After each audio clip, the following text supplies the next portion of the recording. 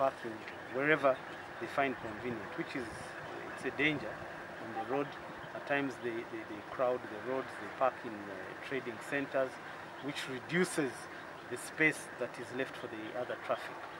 Now, also understanding them, knowing how they come, how they flow, you know, being able to, to, to account for them was not that easy. So these seclusion areas, uh, the future is that they should be developed to a level that that is where we shall have the trucks parking. The trucks will not park elsewhere, they will be parking there, and it will be easy to monitor. And in case there is another uh, you know, issue that needs to be monitored, uh, whatever it is, there will be it will be um, it will be easier for us to, to, to. You see, at the time of the lockdown, um, there was nothing coming in. So what what was the avenue? The only avenue to get goods into the country was through the trucks. So the trucks actually played a crucial role. Now, the, the goods were not only coming into Uganda, but they were going to our neighboring countries. They were going to Rwanda, they were going to the DRC, they were going to South Sudan.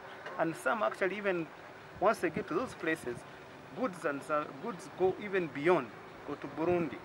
So they have been a, a, a partner, they have been very important in this fight against COVID. Because if we had to lock down and then there was nothing coming in, that would have also been another danger.